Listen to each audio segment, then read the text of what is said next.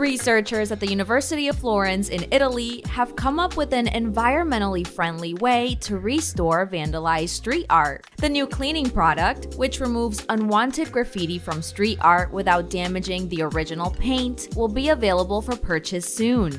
Researchers say the hydrogel releases highly concentrated chemicals that slowly dissolve only the top layer of paint. Street art by famous and non-famous artists has become common in cities all over the world, some even becoming popular tourist attractions. Many, however, have been ruined by unwanted graffiti. According to SWNS, removing this is very time-consuming, and until now, the only way to restore street art was to use chemical cleaners and manual labor like scraping or sandblasting. After dozens of tests, researchers found something that will work in a few seconds to dissolve and remove the top layer of paint, preserving the original masterpiece.